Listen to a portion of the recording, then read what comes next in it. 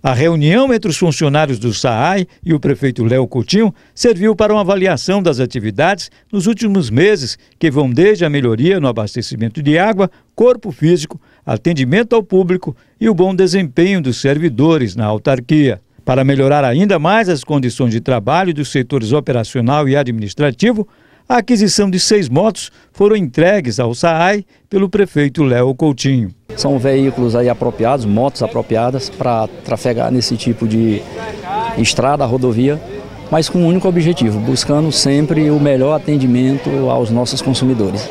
Todos os veículos foram adquiridos com recursos do próprio SAAI.